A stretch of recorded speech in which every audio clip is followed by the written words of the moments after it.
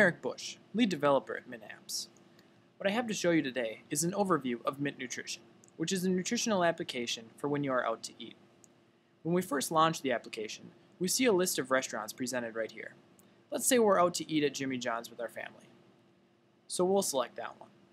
Now, you're presented with the second level, which contains the different courses the restaurant may serve.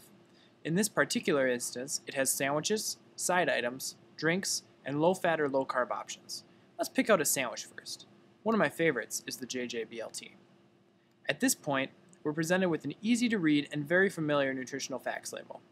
We can then tap the screen anywhere and have the label flip around to reveal a button where we can add them to our plate and can sometimes see a short description of the item. In this case, it's toppings. We'll go ahead and add that to the plate, and we could also look at getting a drink. Let's add a large Coke. At this point, we can view our plate and see that we have a JJ BLT and a large Coke.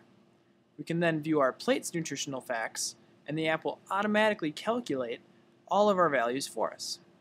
However, let's say we're trying to watch our weight a little, and we want to trim a little bit from the calories.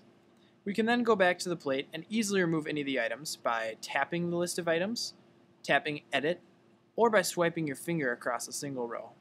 We'll remove the large Coke this way and go back and add a small Diet Coke and look at our facts once again. Thank you for watching, and keep an eye out for more great apps by Mint Apps.